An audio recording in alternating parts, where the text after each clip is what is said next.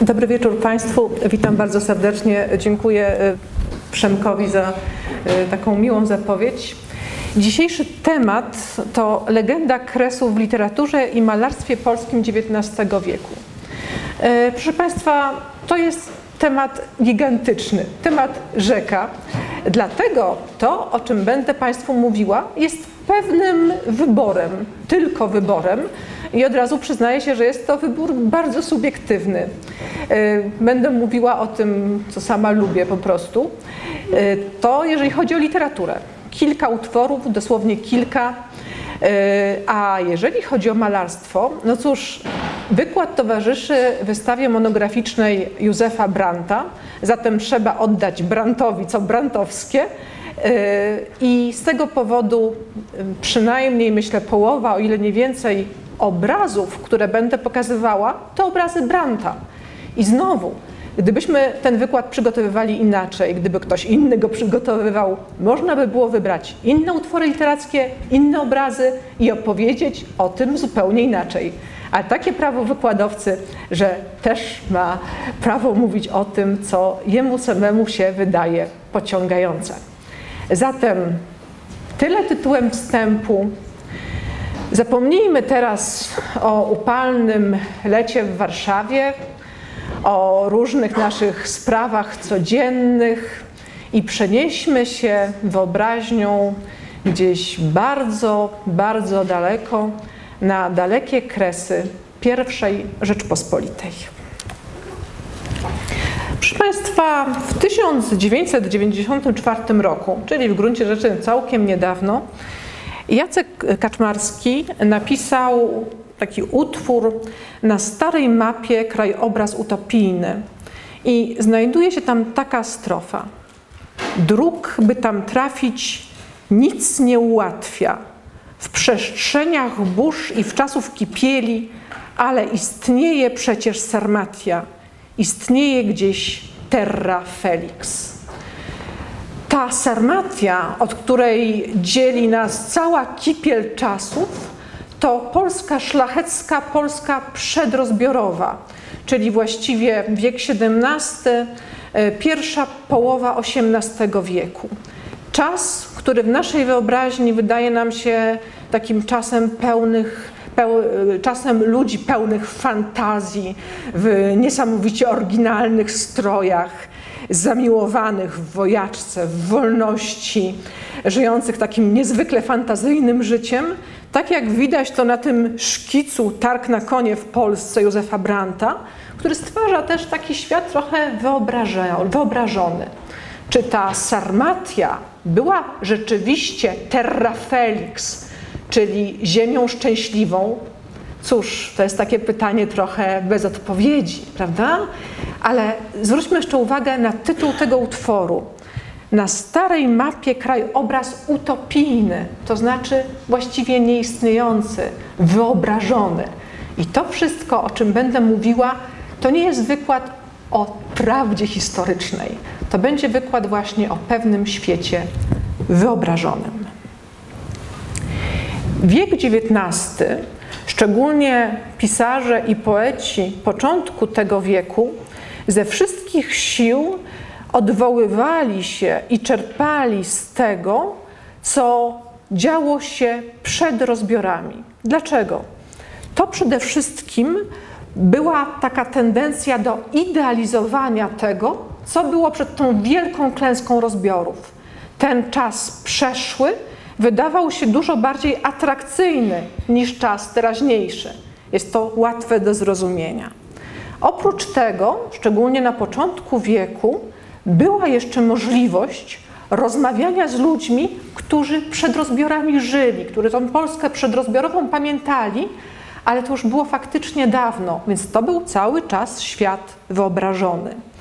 Oprócz tego, szczególnie w pierwszej połowie XIX wieku, mamy taką romantyczną nostalgię do historii, próbę rozpamiętywania, wyobrażania sobie dawnych czasów, właśnie w takiej atmosferze romantycznej czyli ciągły powrót do tego, co było i takie marzenie, aby kiedy w końcu rozbiory się skończą, aby powróciło to, co stare, aby powróciła Polska w swojej formie przedrozbiorowej.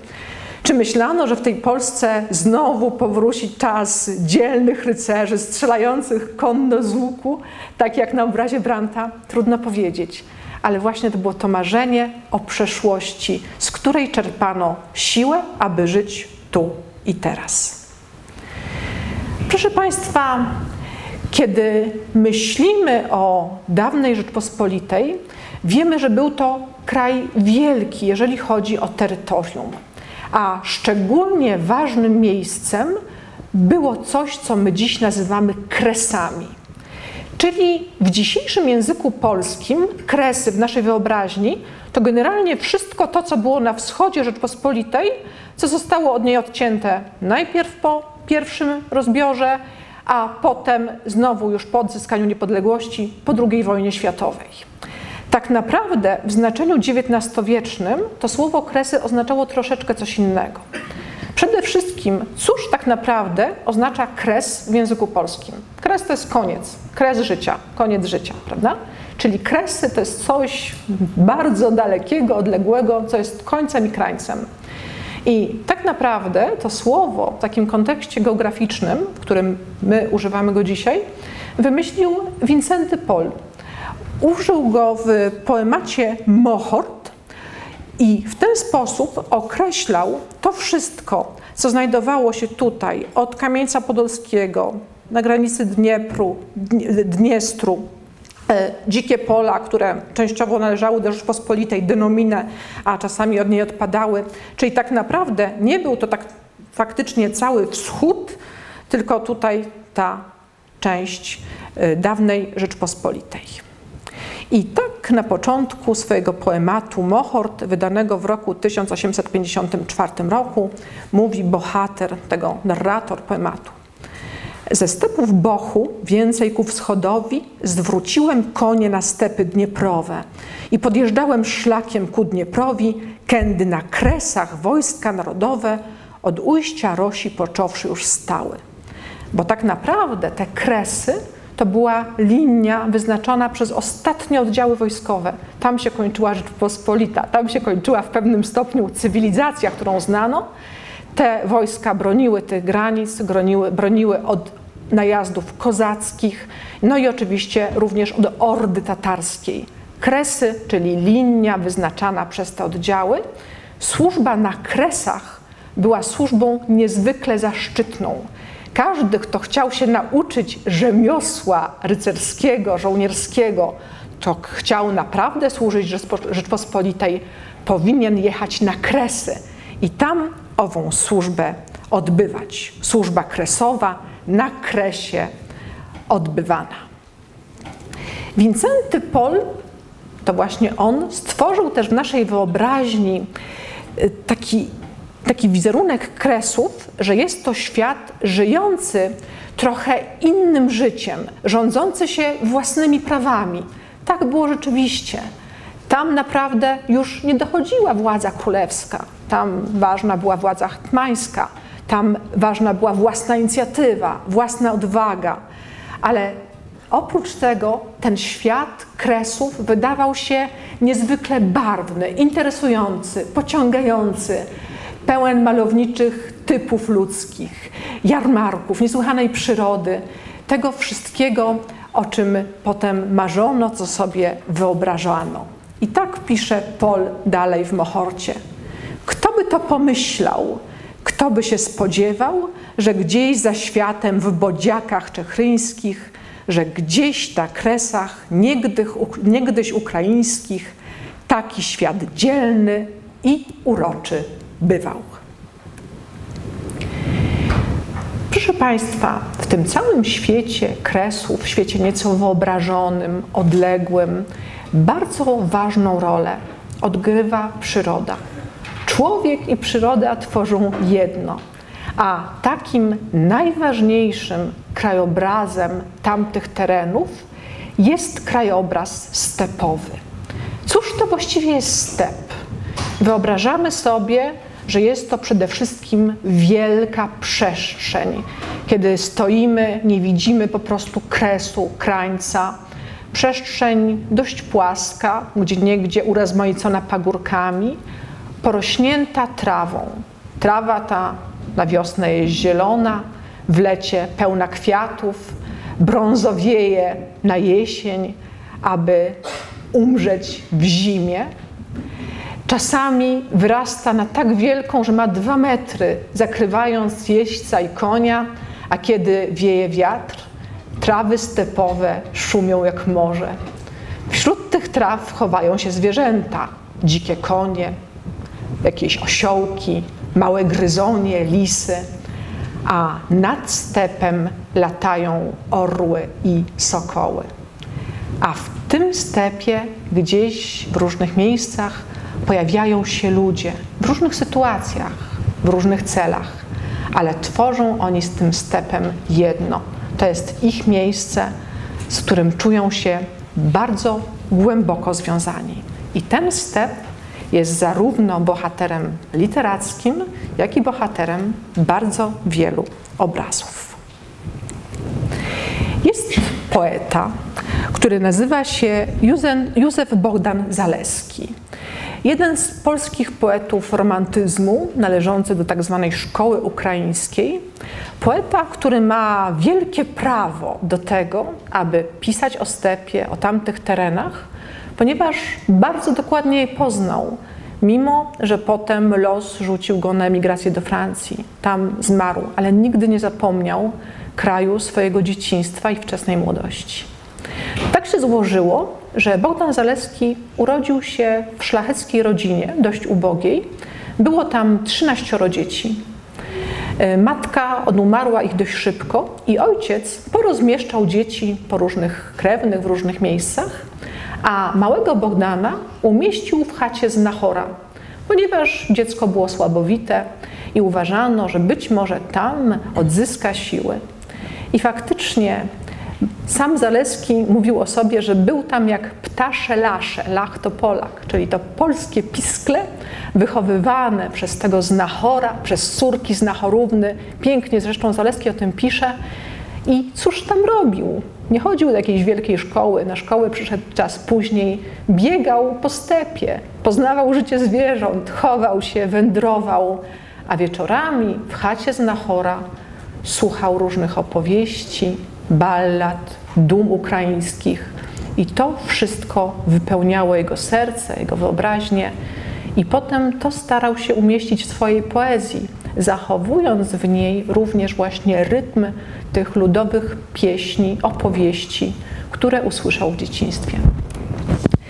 Napisał między innymi poemat Wyprawa Chocimska, ten poemat opowiada o tym, jak Lachy, czyli Polacy i Kozacy, idą na wyprawę chocimską zgodnie, wspólnie i przeczytam Państwu fragment. Trzema szlachy idą lachy, a kozaki czterma walą. W trawach pławią się popachy, z rusznic palą, świecą stalą, a chłop w chłopa, a koń w konia, aż stękają wokół błonia. Gody bracia, dzień wesoły, jako mrowia, koń, luda, Lud i konie, jak sokoły, nasz archanioł sprawia cuda. Godyż, gody, z boków, z przodu grzmi rozgłośna pieśń pochodu. Pan ataman w rozdźwięk huczny ku torbaną kiwnął głową. Urodziwy w ślad buńczuczny wiał chorągwią malinową.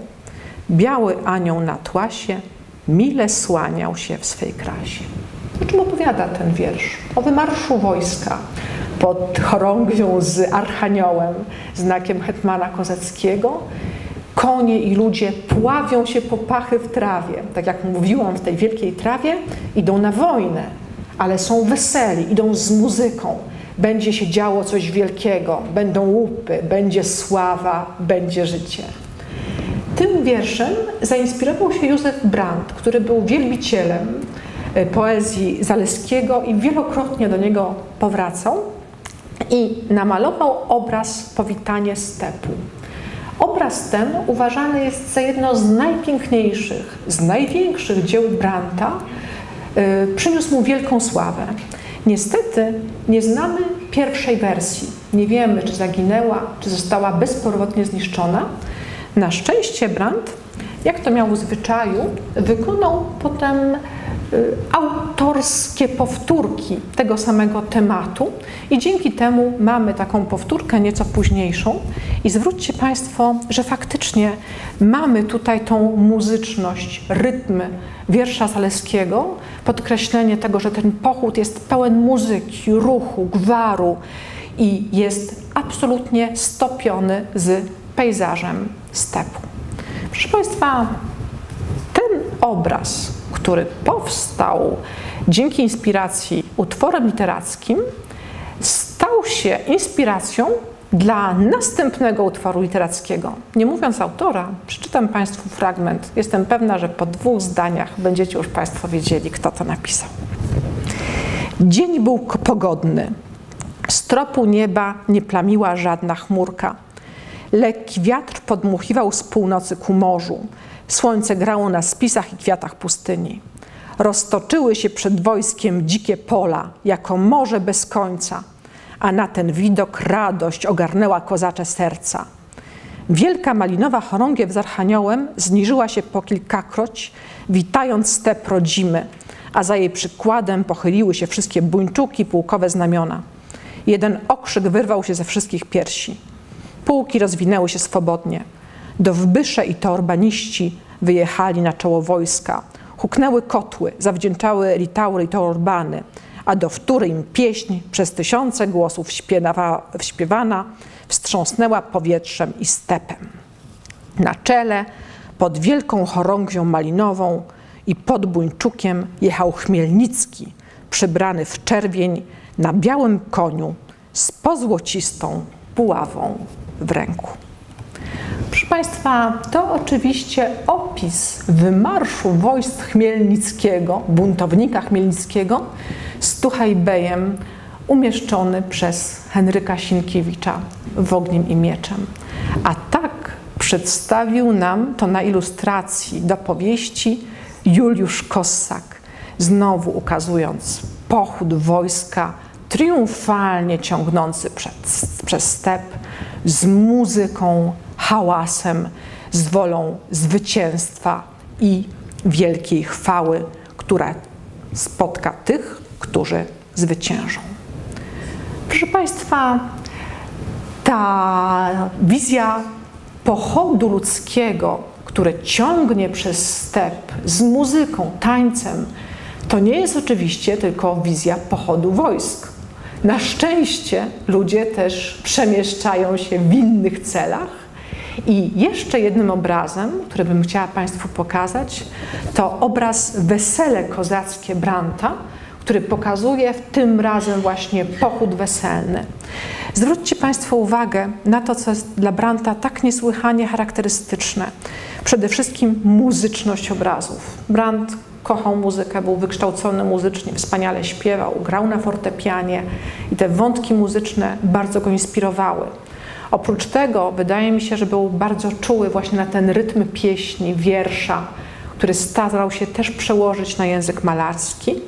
I zwróćcie Państwo uwagę jeszcze na jedną cechę tych kompozycji. Mamy wrażenie, że ten pochód sunie na nas, że zaraz się do nas zbliży, staniemy się jego elementem. Tutaj również prawdopodobnie pewną inspiracją stał się inny utwór Bogdana Zaleskiego. A z nienacka od ustroni zagrzmi tentent po pustyni, Konowczenko we sto koni, w krasnych czapkach bojaryni, a u czapek w upominek mak czerwony i barwinek. Blask się ze wszech stron promieni, na gościńcu wrzaski, stuki, suto dworno przystrojeni, ciury, sługi, hajduki. Coraz bliżej, chyżej jadą, z hukiem, zgiełkiem i paradą. Proszę Państwa, zatem mieliśmy hałas wojska, radosny gwar pochodu weselnego, ale przecież potrzebujemy i ciszy. I obraz, który macie Państwo przed sobą, mimo że znowu pokazuje gromadę ludzi na stepie, jest wypełniony ciszą. Jeżeli wyobrazilibyśmy sobie dźwięki, to byłyby one bardzo subtelne. Rżenie koni, oddech bydła, cicha modlitwa. Oto Znów jesteśmy na stepie, ale nie jest to pełen jasny dzień, tak jak na poprzednich obrazach. Zapada zmierzch i to jest taka cisza właśnie tej pory dnia, bardzo charakterystyczna, kiedy wszystko powoli szykuje się do snu. Światło już jest bardzo takie stłumione, rozproszone, i w tej ciszy widzimy gromadę ludzi i zwierząt. To też wędrowcy, ale nie są to pełni nadziei rycerze czy żołnierze, czy weselnicy. To ludzie, którzy najwyraźniej są bardzo zdrożeni, zmęczeni i zatrzymują się na postój i w ostatniej chwili dnia klękają, aby się pomodlić przed przedstawieniem Najświętszej Marii Panny. Proszę Państwa, obraz zapewne również ma swoje źródło literackie. Jest nim opowiadanie Józefa Apolinarego Rolne. Rolne tak naprawdę był lekarzem, psychiatrą zresztą, ale oprócz tego y, był historykiem amatorem. Bardzo dużo pisał takich paradokumentalnych opowiadań dotyczących właśnie kresów Rzeczpospolitej, kresów rozumianych w tym sensie, o którym dzisiaj jest mowa. Y, korzystał z prawdziwych dokumentów, źródeł historycznych. Zatem y, to, co pisał, to nie jest taka czysta fikcja, tak jak powiedziałam, jest to rodzaj takiego beletryzowanego dokumentu. Zresztą Sienkiewicz korzystał z jego prac, korzystał też z jego dokumentów. W jednym ze swoich opowiadań pod krzyżem Rolle opowiada o tym, jak z kamieńca podolskiego zostali wypędzeni Ormianie. Sytuacja jest taka, uchodzą życiem z miasta, ale nie wolno im iść w stronę Rzeczpospolitej. Muszą iść w głąb Imperium Osmańskiego.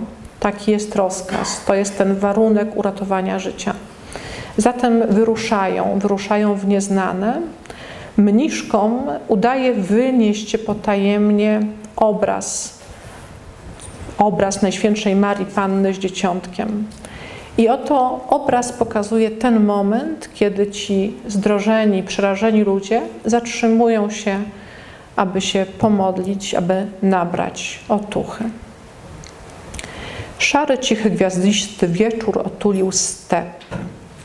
Czaty złożone ze spokojnych obywateli wysunęły się na wytknięte stanowiska, a w środku tak zaimprowizowanej osady na przewróconej marzy, czyli na przewróconym wozie, Kosztownym kilimem perskim okrytej stanął skromny wizerunek Matki Chrystusowej, opiekunki wędrowców.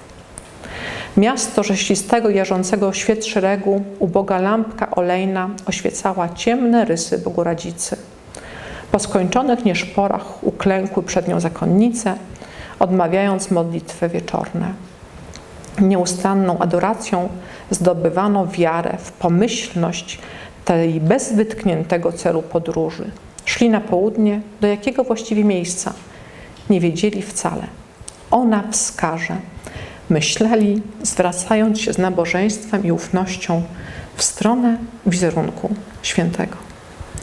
Popatrzcie Państwo na ten obraz, właśnie taki niesłychanie wyciszony w świetle wieczoru, który pokazuje właśnie smutek i zamyślenie i zmęczenie ale też wiarę. Obraz, który w oryginale robi olbrzymie wrażenie. Zachęcam jeszcze, żeby iść na wystawę i w spokoju mu się przyjrzeć. Zatem, proszę Państwa, mamy step z jego bezmiarem, urodą, roślinnością. No i mamy ludzi, którzy w różnych celach po nim wędrują. Są to cele i radosne, i smutne, ale tak naprawdę przede wszystkim są to cele związane z walką i z wojną, ponieważ tak naprawdę te tereny były ciągłym, nieustającym polem bitwy, polem walki, gdzie ścierały się różnorodne siły. Wojsko polskie walczące czasami z kozakami, kozacy czasami po stronie Polaków, tereny ciągle zagrożone przez Ordę Tatarską i Turcy nieraz się tamtędy przeszli. Zatem ciągła walka, ciągłe niebezpieczeństwo, ciągłe zaczepki i to również jest tym tematem, który fascynował Branta, który na wielu swoich obrazach pokazuje i wielkie bitwy, ale właśnie też te ciągłe, niespodziewane zaczepki, zwiady, przemykanie się, łapanie nieprzyjaciela, odwagę, ale i strach, zwycięstwo, ale nieraz i klęskę. Proszę Państwa, tematem, który ciągle się pojawia zarówno w literaturze XIX-wiecznej, y, jak i w ludowych dumach, które stały się przecież źródłem wielu tych utworów, ale też oczywiście na obrazach, jest temat wojny, bitwy z Tatarami. Atak Ordy Tatarskiej to było coś, czego sobie nie można wyobrazić. To było jak przejście pocałunek śmierci. Orda tatarska nie pozostawiała po sobie nic, zostawiała tylko zbliszcza, śmierć i uprowadzonych w jasyr nieszczęsnych niewolników. Bitwy z Tatarami, odbicie Jasyru, e, sprzeciwienie się temu wszystkiemu, to było coś, co przez dziesięciolecia wyznaczało rytmy życia na tamtejszych terenach. Te najazdy tatarskie zdarzały się bardzo często, co trzy lata, co pięć lat. Bano się ich w sposób straszliwy, bo mówiono, że nawet niewola tatarska to jest gorsza niż śmierć, że nic gorszego człowieka nie może spotkać. Zatem ten wątek walki z Tatarami, niewoli, e, jasyru, sprzedaży pojawia się bardzo często i wielu naszych malarzy pokazuje właśnie tę walkę polskich rycerzy z jeźdźcami tatarskimi. Pokazuje Państwu obraz Maksymiliana Gierymskiego, abyśmy pamiętali, że to w końcu on był przyjacielem Branta w Monachium i na pewno w jakiś sposób ich inspiracje, tematy przenikały się. Zobaczcie, mam tutaj na górze taki cytat. To jest cytat, który pojawia się często w listach, w przemowach ojców do synów, którzy gdzieś w XVII wieku wyjeżdżają na nauki za granicę. Synowie, nie uczcie się tańców za granicą, bo tego i doma z Tatarami nauczycie się. Istniało takie powiedzenie tatarski taniec. Ono oznaczało dwie rzeczy. Z jednej strony była to taktyka wojenna Tatarów, tatarski taniec, ale również walka z Tatarami była właśnie tym tatarskim tańcem, którego wszyscy młodzi szlachcice mogli się doma nauczyć, nie ruszając się za granicę. I ten temat owego tatarskiego tańca pojawia się i w malarstwie, w rysunkach, no i oczywiście również w utworach literackich. Oto, jak mówi jeden z bohaterów Marii, Antoniego Malczeskiego, utworu, do którego jeszcze dziś będę nieraz wracać. Panowie szlachta, miejsce bracia szeregowi, Wiem, żeście spaść na wrogów jak piorun gotowi. A kto by, by się miał straszyć tatarskiego tańca, a kto by życie szczędził srogiego pogańca, niech mi tu precz na szkapie do domu wyskoczy, bo bym mu potem kordem zamalował oczy. Czyli co jest największą cnotą? Odwaga. To, żeby nie bać się owego tatarskiego tańca, ale ruszyć odważnie w ów tan. I popatrzcie Państwo na Juliusza Kossaka, specjalistę od scen kresowych, pierwszego nauczyciela Branta, który nam taki taniec właśnie pokazuje. I jeszcze jedna potyczka kozaków z Tatarami, tym razem autorstwa Branta. I jeszcze jeden fragment Marii. Zrywają się rycerze, jakby ptaki z ziemi. Hasa szlachecka młodzież na wrogach Tatara. Sunie się towarzystwo i w szeregach wiara pancerni i usarzy, za nimi kozaki. Proszę Państwa, bardzo często, aby się czegoś dowiedzieć, co się dzieje w szeregach wroga, no należało złapać kogoś. I to jest również ten temat, który pojawia się i w literaturze, i w sztuce. E, łapanie przede wszystkim odbywało się na arkan, czyli na taką długą linę zakończoną pętlą, która zaciskała się na szyi złapanego. I ten temat również pojawia się u Branta ze względu na jego malowniczość, ale ze względu również na tą możliwość pokazania nagłego, zaskakującego ruchu. I znowu, w sposób dla siebie typowy, Brandt powtarza te kompozycje, one nigdy nie są identyczne. Różnią się drobnymi detalami, ale tak jak tutaj widzimy, że nagle spokojne morze stepu, na którym nic się nie działo, panowała zupełna cisza. Nagle jak piorun pojawiają się jeźdźcy, szybko ktoś zostaje złapany, zapewne w ostatniej chwili wydaje z siebie jakiś rozpaczliwy krzyk, a potem wszystko cichnie, milknie i znowu tylko szeleszczą trawy i przebiegają dzikie lisy. Znowu pokazuję Państwu obraz zaginiony, którego miejsca przechowywania nie znamy, bardzo podobny do tej pierwszej kompozycji i znowu nie bez przyczyny, ponieważ idąc tropem naszych bardzo prostych zagadek, chciałabym znowu przeczytać Państwu fragment utworu, który prawdopodobnie został zainspirowany właśnie tym obrazem Józefa Branta. Wiatr chwilami podmuchiwał od Dniepru, sprawując żałosny szelest w zeschłych bodiakach, które pochylały się i trzęsły. Nagle przestał wiać, szelest ustał i zrobiła się cisza zupełna. Nagle dał się słyszeć przeraźliwy świst. Zmieszane głosy poczęły wrzeszczeć przeraźliwie. Ała, ała, Jezu Chryste, ratuj, bił, bij. Rozległ się huk samopałów, czerwone światła rozdarły ciemności. Ten tent koni zmieszał się ze szczękiem żelaza. Nowi jacyś jeźdźcy wyrośli jakby z podziemi na stepie. Rzekłbyś, burza zawrzała nagle w tej cichej, złowrogej jej pustyni. Potem jęki ludzkie zawtórowały wrzaską strasznym. Wreszcie ucichło wszystko. Walka była skończona. Proszę Państwa, to fragment, który rozpoczyna ogniem i mieczem. Chwila porwania i uratowania Chmielnickiego przez Skrzetuskiego. Sienkiewicz dobrze zrozumiał to, co też wspaniale wyczuwał Brandt. Właśnie ten moment, kiedy mamy zupełną ciszę, nagle dzieje się coś strasznego, potem to się kończy i właściwie nie wiemy, czy wydarzyło to się naprawdę, czy też nie, ponieważ wysokie trawy stepu zakrywają wszystko i przyroda wraca do tego, co było przed kilkunastoma minutami. Zatem to życie na tych terenach, które Wincenty Pol określił jako piękne i urocze, w gruncie rzeczy było niesłychanie niebezpieczne. W każdej chwili można było stać się sławnym, zyskać bogactwo, ale jeszcze szybciej można było stracić życie. Zatem wieczna wojna, wielka, wieczna walka i z tego powodu musiał się wykształcić jakiś taki typ idealnego bohatera.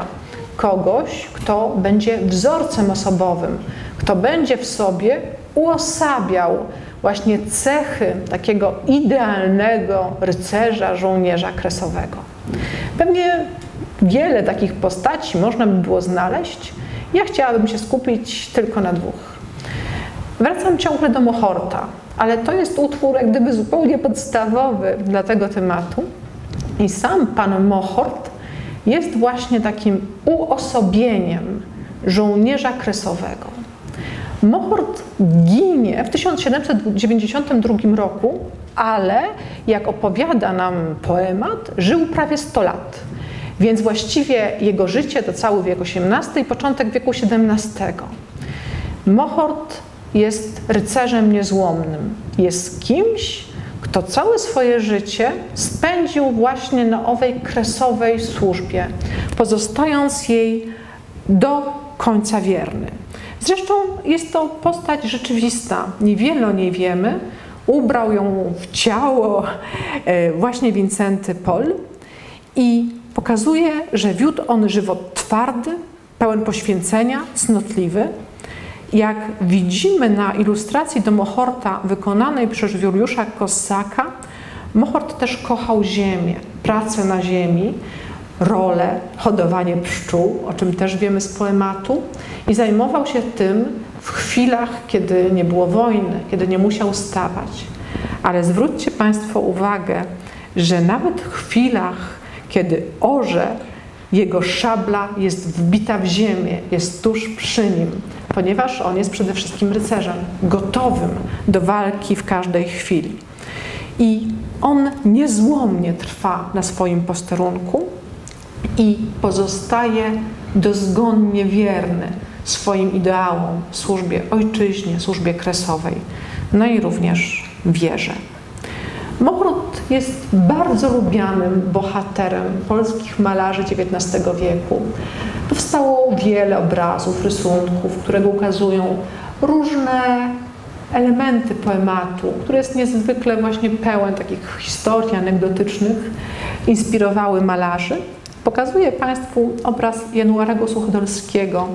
Moment, kiedy Mohort dostaje od króla wspaniały prezent. Ten prezent też jest czymś bardzo ważnym, zapamiętajcie to Państwo. Jest to koń biały. Biały koń ma znaczenie symboliczne, to koń wielkiego wodza zawsze. Tylko wielcy wodzowie, królowie mogli jeździć na białych koniach. I ten koń ma wspaniały rząd, jest naprawdę królewskim podarunkiem. Mohort przyjmuje prezent i wraca do siebie na kresę. Jak na bohatera przystało, Mohort, stuletni starzec, który nigdy nie odłożył szabli, ginie w czasie bitwy, wiodąc swoich żołnierzy na, na miejsce, które wydawałoby się zupełnie stracone.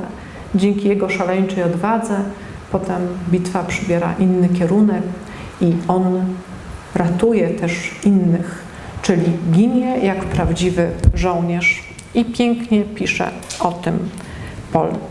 Książę na ziemię rzucił płaszcz ze siebie i kazał na nim złożyć towarzysza. I była długa i poważna cisza. Nikt nie rzekł słowa przy całym pogrzebie, aż gdy grób cały w końcu był zasnuty, rzekł książę tylko do obecnych tyle. Żył z szablą w ręku, niech leży w mogile.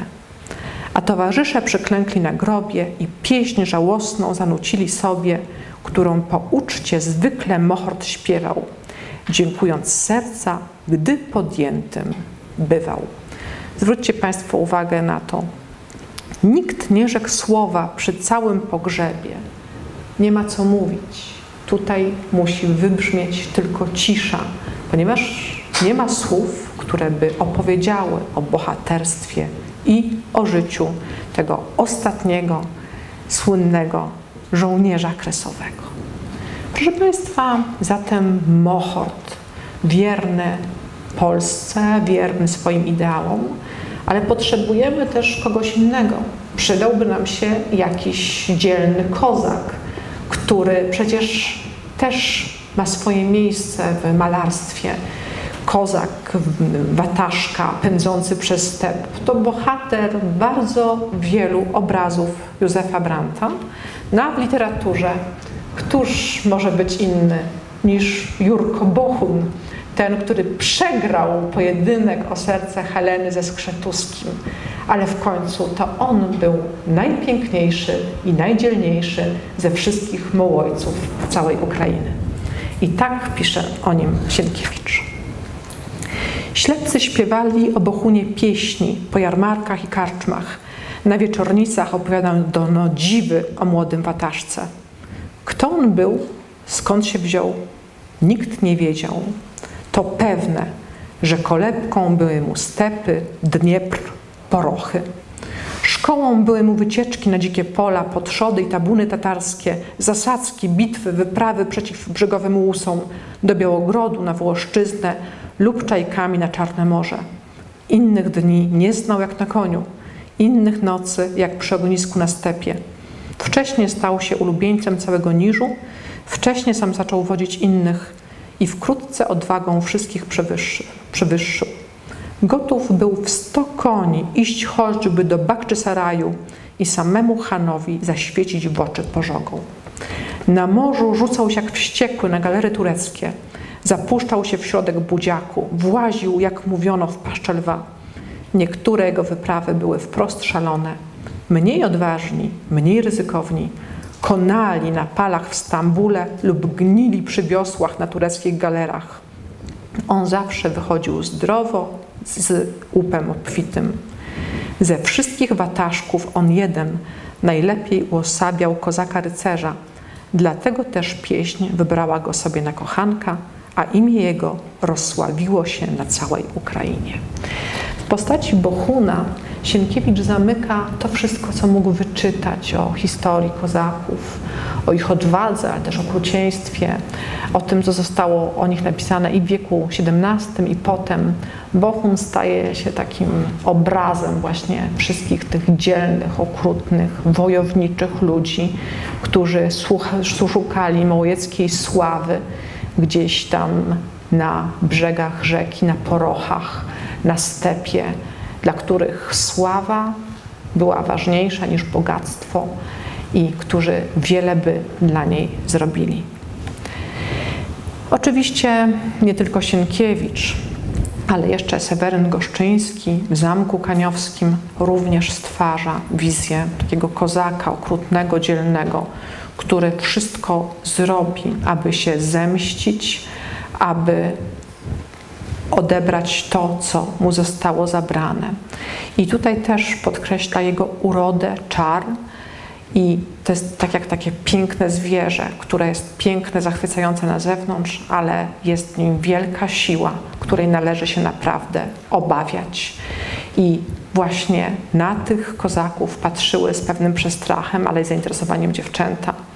Oni stawali się bohaterami różnych opowieści, które zapewne opowiadano sobie w czasie długich posiedzeń przy ognisku, w czasie długich przymarszów, czatów, bo każdy chciał być właśnie taki. Popatrzcie Państwo na ten obraz Kozacy przy ognisku, y, na jego kompozycję również, prawda? Ten taki wzgórze dzieli obraz na dwie części. Mamy elementy pionowe, mamy tą podstawową grupę kozaków siedzących przy ognisku, unoszący się dym. Jakaś jest taka pociągająca w tym prawda, ale zwróćcie Państwo uwagę, że ludzie nie są tutaj sami. Towarzyszą im konie, bo to jest coś, co nieodmiennie musi towarzyszyć człowiekowi na dalekich ukrainnych ziemiach, na stepie. Bez konia człowiek sobie tam nie poradzi. Proszę Państwa, i znowu w literaturze mamy nadzwyczajne zupełnie opisy tych oddanych człowiekowi zwierząt, które pokazują, że dobry jeździec i jego koń tworzą właściwie jedno. I tutaj oczywiście aż narzuca się, aby przeczytać fragment Marii Antoniego Malczeskiego. Ej, ty na szybkim koniu, gdzie pędzisz, kozacze? Czy zaoczył zająca, co na stepie skacze? Czy rozigrawszy myśli chcesz użyć swobody i z wiatrem ukraińskim puścić się w zawody? Lub może do swej lubej, co czeka wśród niwy, nucąc żałosną dumkę, lecisz niecierpliwy? Boś i czapkęś nasunął i rozpuścił wodze, a długi tuman kurzu ciągnie się na drodze. Zapał jakiś rozżarza Twojej twarzy śniadość, jak światełko w polu błyszczy na niej radość gdy koń, co jak ty dziki, lecz posłuszny żyje, porze szumiący wicher, wyciągnąwszy szyję. W tym opisie i jeździec, i koń są dzicy, nieposkromieni, ale tworzą jedność. Popatrzcie Państwo na obraz dziś zapomnianego nieco malarza Alfonsa Dunina Borkowskiego, który cieszył się w swoim czasie dużą popularnością uczeń Matejki, specjalista od e, scen batalistycznych, historycznych, no i jego również urzekł ten widok, wizja kozaka pędzącego konno. Zwróćcie Państwo uwagę, że na tym obrazie wszystko się mieści. Wszystko, co najważniejsze dla przedstawienia stepu i kozaka na koniu tutaj jest. Mamy kozaka, mamy konia, który jest jakąś dziką bestią, że zupełnie nieposkromioną, ale jego jeździec go jakoś poskramia, jeździec i koń tak naprawdę tworzą jedność i mkną przez step, na którym mamy wszystko. Mamy i charakterystyczne osty, mamy białą czaszkę jakiegoś zwierzęcia, mamy krzyż, grób, a nawet dzikiego lisa, który gdzieś po prawej stronie obrazu z zarośli wystaje. Zatem wszystko w tym obrazie się mieści. Obraz wydaje nam się być może dzisiaj nieco e, kontrowersyjny, jeżeli chodzi o jego wartości artystyczne, ale zwróćcie Państwo uwagę, że on jest taką kwintesencją pewnego wyobrażenia właśnie jeźdźca pędzącego przez step. I w takiej wersji widzimy jeszcze ten sam temat u Józefa Branta, a nad głową jeźdźca tutaj jeszcze sokoły, orły czy inne dzikie, drapieżne ptaki. Proszę Państwa, kozacy jako wojsko właściwie sprawdzali się głównie jako piechota, ale to w czasie wojny. Ale tak naprawdę ta miłość do konia, do posiadania własnego wierzchowca była czymś, co wszyscy mieli we krwi. I polscy żołnierze, i kozacy, przecież nawet Tatarzy, Koń był częścią życia, umiejętność jazdy konnej, walki na koniu. To było coś, co gdyby było oczywiste. Poza tym ten koń bardzo często był jedynym towarzyszem przez bardzo wiele dni, przez bardzo długie podjazdy. Był tak naprawdę kimś, czymś więcej niż tylko zwierzęciem. Był prawdziwym przyjacielem. Być może koń odczuwał to podobnie, przywiązanie do człowieka, jak pięknie napisał Malczewski w Marii, a koń rży, jak za matką tęskni za kozakiem. Zwróćcie Państwo uwagę na obraz Branta. Y, to jest cykl takich obrazów, kiedy artysta pokazuje samotną postać właśnie człowieka, często z koniem. Zwróćcie Państwo uwagę na kolorystykę tego obrazu, taką niezwykle wysmakowaną, na pewien taki nastrój nostalgiczny. Bardzo piękny obraz. Koń to oczywiście też uczestnik wojny, bitew, kiedy w czasie bitwy należało często podsunąć drugiego konia. Konie w czasie bitwy też ostatecznie ginęły. No ale oczywiście te wielkie tereny Kresów sprzyjały też hodowli koni. Były konie dzikie w tabunach, ale były też stadniny. W Mohorcie Pol prawie całą pieśń poświęca opowieści o stadninach. E, stado hetmańskie i sułtańskie. Mohort wszystkie konie zna doskonale. Zna ich imiona, ich pochodzenie, ich charakter. Są jego wielką dumą i miłością. Tą miłość dzielił z naprawdę ze wszystkimi, którzy tam mieszkali. Oczywiście poskromienie konia, jazda na nim była pewną doskonałością, była czymś, do czego ludzie dążyli, do czego, czego musieli się uczyć. Cenieni byli dobrzy jeźdźcy. Oczywiście przy koniach dzikich też trzeba było popisać się umiejętnością łapania konia na arkan. Co pokazuje na obrazie Józef Brandt? Zwróćcie Państwo uwagę, on tutaj eksperymentuje z pokazaniem takiego bardzo gwałtownego ruchu. Pokazuje tą walkę właściwie między człowiekiem i zwierzęciem, wysiłek. Mamy właśnie tutaj tą akcję niezwykle poruszoną. O tym łapaniu na arkan i o tym, że nie jest to łatwa sztuka, również opisał Pol. Kiedyśmy stada objeżdżali w koło, zawołał ku nam pan Mohord wesoło. No, tu jest arkan, więc panowie młodzi, kto chce mieć konia, niechaj arkan rzuci i weźmie konia, co w tabunie chodzi i niech na obiad do nas na nim wróci. Okazało się, że żaden z młodych panów nie jest w stanie tego konia na arkan złapać, że jest to za trudna sztuka. Ten element popisu, pokazania swoich umiejętności jest również tematem obrazów Branta. Tu koń jeździec popisują się na jarmarku skokiem przez słomiane powrósło, a tutaj umiejętnościami jeździeckimi. Proszę Państwa, pewnym toposem literatury i sztuki jest to, że koń pozostaje tym najwierniejszym towarzyszem. Kiedy jego pan ginie, to koń pozostaje przy nim.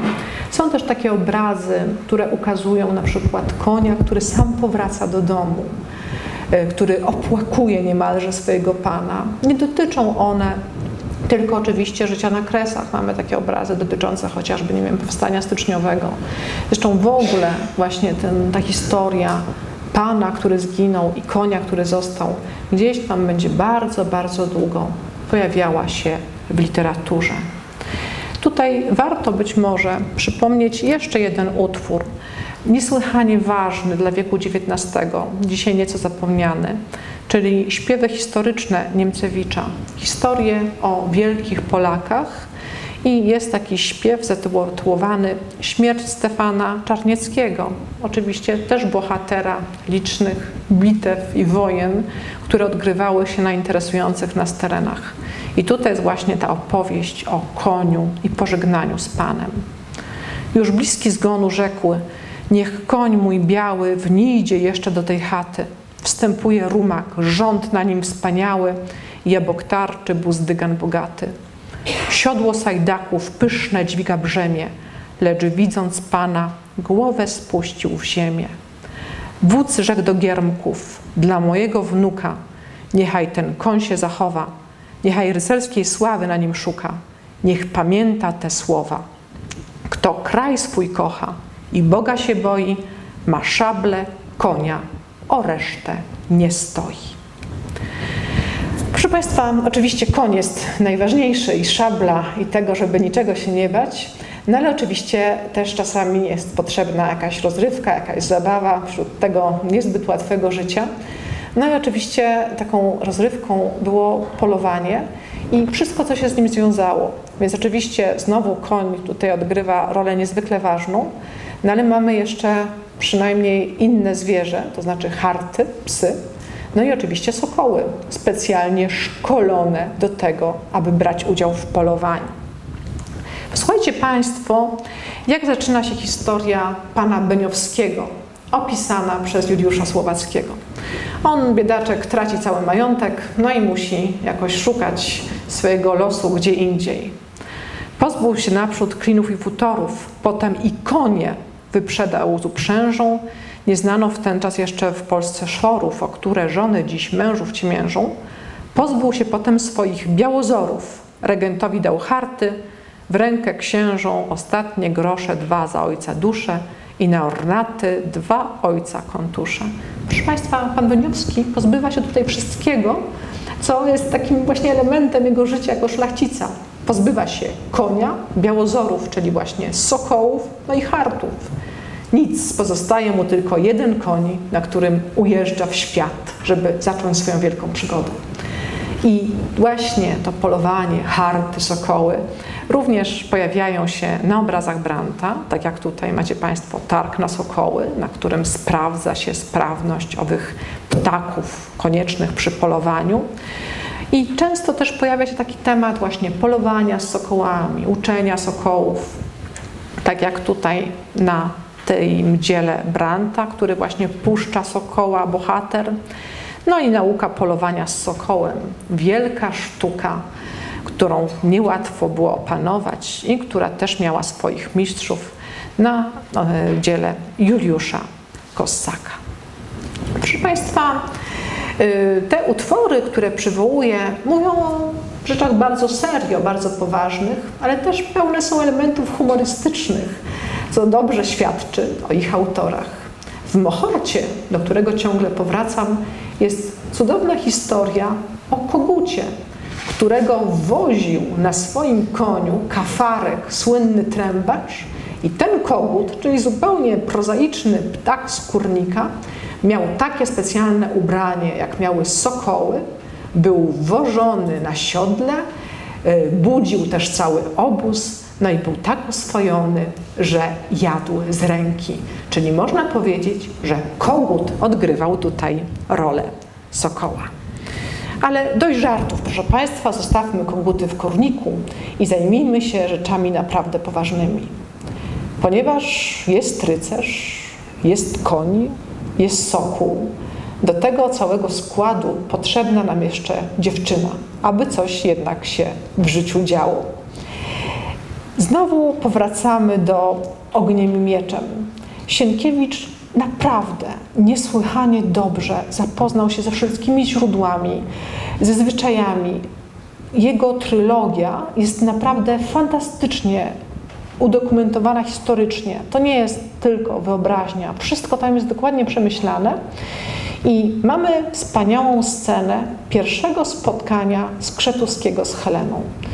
Nie wiem, czy pamiętacie Państwo, jak to jest. Skrzetuski jedzie ze swoimi towarzyszami i dla zabawy puszczają właśnie sokoła. Nie ma zagrożenia, jadą sobie w spokoju. Sokół się wzbija i ginie. Nie wiedzą, co się z nim stało. W końcu jadą i cóż widzą? Rozwalony wóz, przeprawa, dwie kobiety, stara i młoda, a na ramieniu młodej siedzi właśnie ów sokół. I ta piękna młoda kobieta to właśnie Helena, późniejsza ukochana Skrzetuskiego, to pierwsze spotkanie. On wyciąga rękę, aby Sokół wrócił do swojego pana i wtedy symbolicznie Sokół staje jedną łapą na ręku Heleny, a drugą na ręku Skrzetuskiego. I tak się zaczyna, czyli mamy tutaj wszystko. I sokoła, i konia, i rycerza, i dziewczynę. Dlatego musimy przejść do następnego tematu, jaką jest miłość w niełatwych warunkach, w niełatwych czasach, ale to ta siła, która ostatecznie zawsze pycha człowieka do sił, do, do czynu. Rok się kochali, a wiek się nie widzieli. Zbolały serca oboje na pościeli. Leży dziewczyna w komnacie swej na łożu, a kozak leży w Dąbrowie na rozdrożu. Niezwykle smutny, wręcz ponury tekst znowu Bogdana Zaleskiego, opowiadający o tym, że miłość w takich warunkach nie jest łatwa, ponieważ często w kozak czy rycerz nigdy nie wraca do ukochanej, tylko ginie gdzieś w czasie wojny czy wyprawy. Aby na nią wyjechać, musi się z dziewczyną pożegnać. I to jest temat często podejmowany przez Branta i innych malarzy. Pożegnanie kozaka z dziewczyną. Ich takim pierwszym źródłem jest ludowa pieśń mówiąca o tym, że kozak przyjeżdża napoić konie i składa dziewczynie wiele obietnic, że wyjedzie na wojnę, wzbogaci się, przywiezie jej mnóstwo wspaniałych rzeczy, a ona się żali. Jak odjedziesz, to zapomnisz, taka dola moja, cóż ja pocznę, sama jedna nieszczęsna dziewoja. Nie zapomnę i nie zdradzę, ciebie nie porzucę i do chaty ciebie wezmę, jeno z wojny wrócę. Różnie z tymi obietnicami bywało, ale temat był bardzo popularny i wielokrotnie też podejmowany i powtarzany przez Józefa Branta, co możecie Państwo zobaczyć na wystawie. Proszę Państwa, wielokrotnie już dzisiaj przywoływałam Marię, powieść ukraińską Antoniego Malczewskiego. Utwór, który był niesłychanie popularny w XIX wieku, dzisiaj jest nieco zapomniany. Antoni Malczewski, tak jak Bogdan Zaleski, należał do twórców polskiego romantyzmu, do tej szkoły ukraińskiej i jest autorem właśnie tego nadzwyczaj poruszającego utworu. Tutaj macie Państwo autora w stroju kozaka właśnie. No i sama Maria. Pierwsza polska powieść poetycka, niesłychanie popularna, wydawana wielokrotnie ilustrowana przez wybitnych artystów, przez Maksymiliana Fredro, przez Zaleskiego, przez Andriolego, przez Gersona. Trudno się było z tym zmierzyć. Różne opinie zbierały te ilustracje, ale w każdym razie to było wyzwanie dla artysty zilustrować ten piękny, ale też niezwykle pesymistyczny poemat. Proszę Państwa, Maria to opowieść o miłości, o zdradzie, o zemście, o wojnie. Oto młoda kobieta Maria poślubia potajemnie ukochanego. Na ten ślub nie zgadza się ojciec. Y, nie jest przyjmowana do domu swojego teścia. Tęskni, płacze. Ostatecznie wydaje się, że sprawy idą ku lepszemu. Y, teść wysyła swojego syna oraz ojca Marii na wojnę, na potyczkę z Tatarami. Wydaje się, że to już będzie koniec kłopotów, kiedy zwyciężą, wrócą. Niestety jest to tylko pretekst. Maria w tym czasie, kiedy jej ojciec i jej mąż są na wojnie, zostaje zamordowana. Kiedy mąż i ojciec wracają do domu, niestety zastają tylko trupa ukochanej córki i ukochanej żony. Proszę Państwa, Maria jest powieścią ukraińską, ponieważ rzecz się dzieje w Ukrainie, ale tak naprawdę cała ta historia mieści się e, w takim pewnym zasobie historii miłosnych, które porusza literatura europejska. Mamy tutaj takie toposy bardzo charakterystyczne dla literatury czy też dla malarstwa. Taniec masek, ten, który kończy się śmiercią Marii, to taniec śmierci, korowód śmierci, który nieraz pojawia się w sztuce. Pożegnanie Wacława z Marią to nic innego jak powtórzenie znowu tego odwiecznego tematu pożegnania kochanków czy małżonków, takich jak Hektor i Andromacha, Tristan i Izolda, Romeo i Julia. Wacław łoża Marii to śmiertelne łoże. Czym innym jest obraz Zimmlera, śmierć Barbary Redźwiłówny, prawda? To też to śmiertelne łoże. No i oczywiście zestawienie dwóch postaw. Miecznika, który jest takim wzorem cnót i wojewody, złego magnata, czarny i biały charakter, które się ze sobą ścierają. Pokazuję Państwu jeden tylko obraz, pewnie można by ich było znaleźć wiele. Pożegnanie Wacława z Marią Józefa Zimmlera ze zbiorów Muzeum Narodowego w Warszawie. Historia Marii w rzeczywistości została uparta na autentycznym wydarzeniu, z tym, że Malczewski przenosi akcję swojego utworu do wieku XVII, a historia, która stała się bazą dla tego, to historia XVIII-wieczna, to historia Gertrudy Komorowskiej, pierwszej żony Stanisława Szczęsnego Potockiego, zamordowanej przez swojego teścia, który nie był w stanie pogodzić się z małżeństwem syna ze szlachcianką, ale oczywiście ze sobą dużo niższej kondycji, takiej towarzyskiej, finansowej. I tutaj obraz Leona Wyczółkowskiego, Gertruda Komorowska na saniach. Proszę Państwa, Maria jest utworem bardzo smutnym, bardzo poważnym, mówiącym o utraconej miłości, o nienawiści, o zemście, ale jeszcze bardziej ponurym utworem jest dzieło Seweryna Goszczyńskiego, następnego poety polskiego romantyzmu, również przedstawiciela tzw. Tak szkoły ukraińskiej, Zamek Kaniowski. Historia odbywa się na tle tragicznych zupełnie wydarzeń, tak zwanej koliszczyzny, o której zaraz będzie mowa. I znowu jest historią o zdradzie, o nienawiści. Jest piękna dziewczyna o imieniu Orlika, jest zły zarządca zamku i jest ukochany Orliki, Nebaba. Wszystko to odgrywa się na strasznym tle kaniowskiego zamczyska, pełnego puszczyków, a zaczyna się sceną z wisielcem. Oto ktoś został powieszony, pilnuje go żołnierz. I nagle ten wisielec znika. Nie wiemy dokładnie dlaczego. Być może jakieś czartowskie moce zostały w to zamieszane. Obraz się kończy, poznajemy Orlika, Orlikę i Nebabę, którzy się kochają. I nagle nie wiadomo dlaczego, z jakiego powodu, Orlika wychodzi za mąż za zarządcę zamku. Człowieka złego, za Lacha, za Polaka.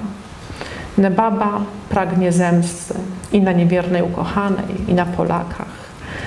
Zaczyna się okrutna rzeź mieszkańców Zamku Kaniowskiego, a w tym czasie Orlika, jeszcze do końca o tym nie wiedząc, zabija swojego męża. Wszystko to jest nadzwyczaj tragiczne i co się okazuje, że tym, kto pilnował owego ukradzionego wisielca na samym początku, był brat Orliki.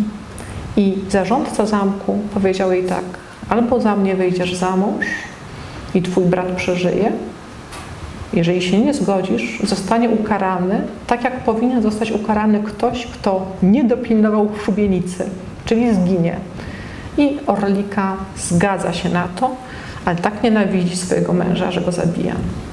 Czyli widzicie Państwo, jest to historia wyjątkowo ponura, w której jeszcze mieszają się czary, czartowskie moce, jakieś rzeczy niewypowiedziane, puszczyki opowiadają całą tą historię, więc faktycznie to wspaniały przykład takiego czarnego, mrocznego romantyzmu. I tutaj znowu na ilustracji niestrudzonego Andriolego ten dramatyczny moment, kiedy Orlika zabija swojego męża, a potem sama ginie w komnatach Kaniowskiego zamku. Proszę Państwa, ta Koliszczyzna to było zupełnie tragiczne wydarzenie, które wstrząsnęło tamtymi terenami. Był to bunt chłopów wspomaganych przez kozaków, skierowany przeciw szlachcie, przeciw kościołowi katolickiemu, niskiemu, niezwykle okrutny, gdzie wiele miejsc spłynęło krwią, wiele ludzi zginęło. I faktycznie ta koliszczyzna również odbiła swój ślad i w literaturze, i w sztuce. Tak jak już wspominałam, wydarzenia Zamku Kaniowskiego właśnie odbywają się na tle tych wydarzeń. No a w sztuce również mamy obozy hajdamaków, czyli takich właśnie zbójników, rozbójników, którzy mieszają się w te wszystkie sprawy z okrucieństwem i bez najmniejszych problemów. I tutaj hajdamacy w ucieczce na Józefie Branta, hajdamaka, który bije swojego konia, przespływa przez rzekę z ukradzionymi łupami, przytroczonymi do siodła. W tym samym czasie właściwie mamy też inne bardzo ważne wydarzenie. One się ze sobą łączą, mają wiele związków. To oczywiście Konfederacja Barska. Zbrojny Związek Szlachty Polskiej, utworzony w Barze na Podolu w 1968 roku, który miał na celu gdyby, poprawienie sytuacji w Polsce. Różnie to wyszło. Nie będziemy w tej chwili wnikać jak gdyby w, w to, co się stało dzięki lub przeciwko Konfederacji. W każdym bądź razie Konfederacja stała się takim bardzo ważnym tematem sztuki romantycznej, ponieważ romantycy uważali, że tak naprawdę Konfederacja jest pierwszym powstaniem narodowym i bardzo często się właśnie do niej odwoływali, tam szukając pewnych źródeł y, właśnie walki, walki powstańczej, oddania ojczyźnie, obronie wiary. I sama Konfederacja pojawia się w bardzo wielu utworach literackich XIX wieku. Proszę Państwa, wszyscy znamy te słowa. Nigdy z królami nie będziemy w aliansach, nigdy przed mocą nie ugniemy szyi, bo u Chrystusa my na ordynansach słudzy Maryi. Więc choć się spęka świat i zadrży słońce, chociaż się chmury i morze nas rożą, choćby na smokach wojska latające nas nie zatrwożą. Bóg naszych ojców i dziś jest nad nami, więc nie dopuści upaść żadnej klęsce. Wszak póki On był z naszymi ojcami, byli zwycięzcy.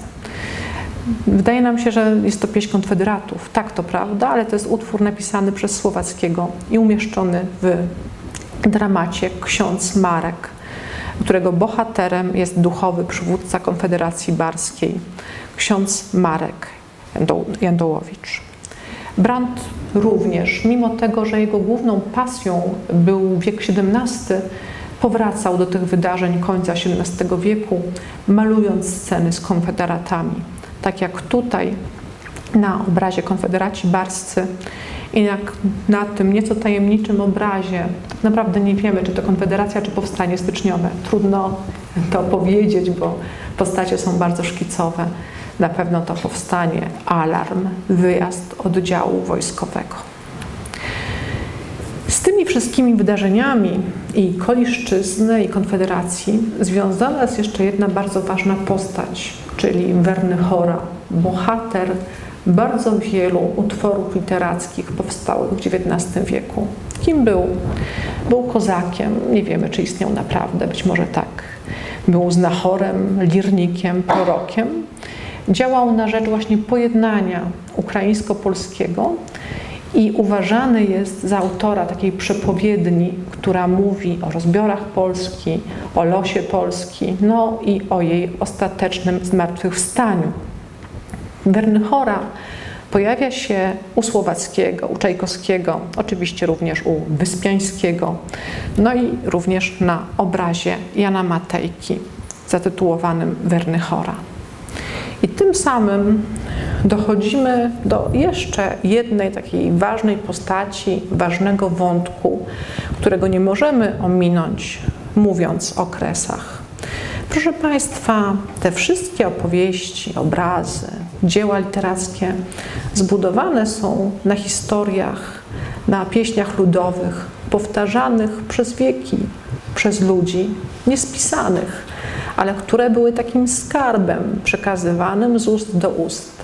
I oczywiście podstawową rolę w przekazywaniu tych pieśni, tych dum byli lirnicy, to znaczy ślepcy, którzy wędrowali od wioski do wioski, od domu do domu, grali na lirze, śpiewali te wszystkie pieśni.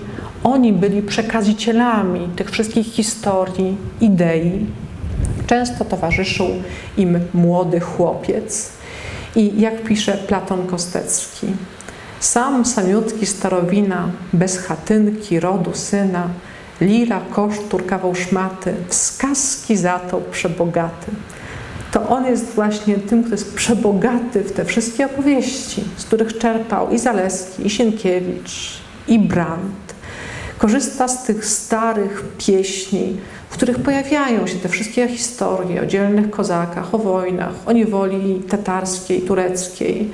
Występują tam stałe epitety, które też znajdziemy w poezji Zaleskiego, Sienkiewicza. Ciche wody, jasne zorze, kraj wesoły, soku jasny, biedni niewolnicy – jak mówią o Bohunie, że on jest jak sokół, prawda? I właśnie to ci ludzie, skromni, biedni, byli tymi przekazicielami idei, pieśni, co zresztą bardzo zawsze podkreśla romantyzm. Proszę Państwa, na koniec chciałbym Wam przeczytać jeszcze fragment znowu z Beniowskiego, Juliusza Słowackiego, bo to chyba jedna z najpiękniejszych opowieści o stepie i o tamtejszym życiu. Przez ciemne, smutne gościńce kurhanów niesie go czarny koń dniami i nocą. Pod ziemią tętne zakopanych dzbanów z prochem rycerzy. Na niebie łopocą kruki, jak stada posępne szatanów. W czacharach zbroje rycerzy migocą, i dzidy błyszczą krwawymi płomyki. Tam na kurhanach posępne lirniki siedzą i grają dumy dawnych czasów. Dumy wychodzą na rozległe pola, wpadają smutne w szum dębowych lasów i stamtąd znowu jak harfeola, zmieszane z szumem liściastych hałasów, wychodzą na step, a ludzka niedola leci wichrami płaczącymi wiana – jakby nie ludzi ustami śpiewana. Czyli mamy tutaj i step, i kurhany, czyli grobowce, i owych lirników. Na koniec wykładu chciałabym Państwu pokazać dwa obrazy artysty, który należy już do następnego pokolenia, innego niż Brandt, Gierymscy czy Matejko.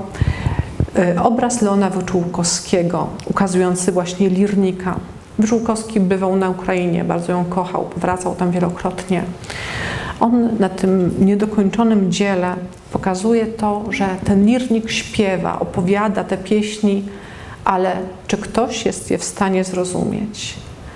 Może on już jest tylko skamieniałym druidem, może już jest tylko pewną skałą, czymś, co nie żyje czymś, co już nie rusza ludzi, ale może jest nadzieja na to, że ta skała kiedyś się obudzi.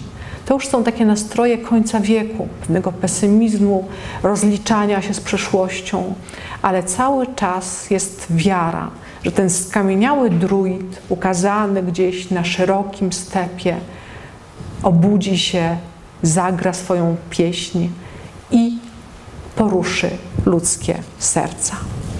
Proszę Państwa, i na koniec ostatni cytat. Pomyślcie Państwo o tych wszystkich obrazach, które dzisiaj przywoływaliśmy.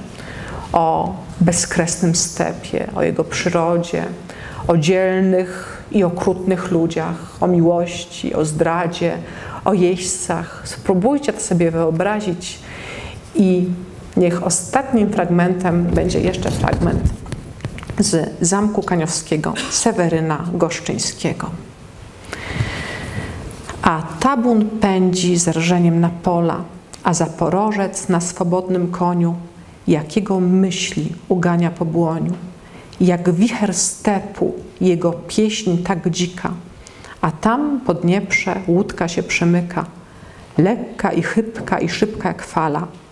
Leci za nurtem po szklanej równinie, wpadła na poroch, ze skał się przewala, zapadła w głębie, przepadła, aż z dala.